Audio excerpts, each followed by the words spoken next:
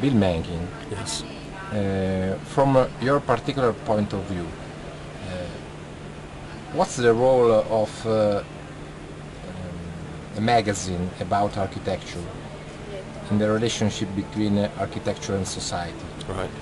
Well, the, uh, the main idea I think is is that the the magazine, the thing it has going for it that's the most interesting is is that it has the ability to create a community, to create a group of people who are able to um, relate to each other through reading the information in the newspaper.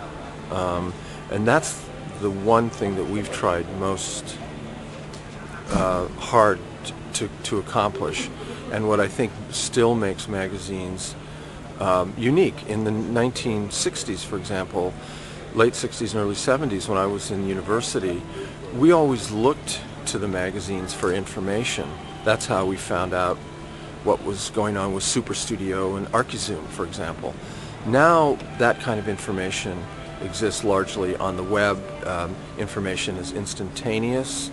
Uh, blogs, websites pass this information around.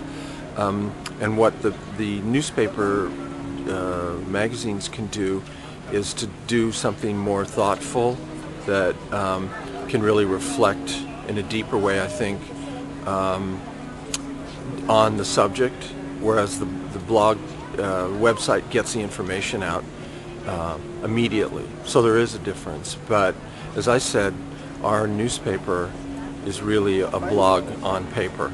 And particularly even now, people still commute in the um, New York, at least in the subway, and they take the paper with them and read it while they're commuting. That's the kind of time that they have to carve out.